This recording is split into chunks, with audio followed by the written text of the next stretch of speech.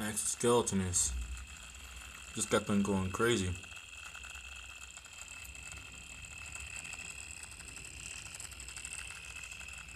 I just touched it and laid it down, but it's like picking up different things.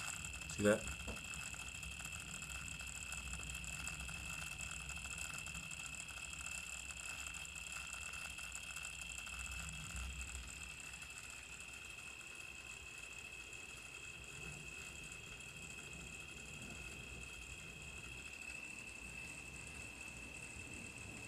About to rain out here real bad.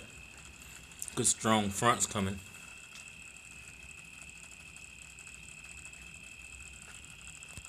Let's see what happens.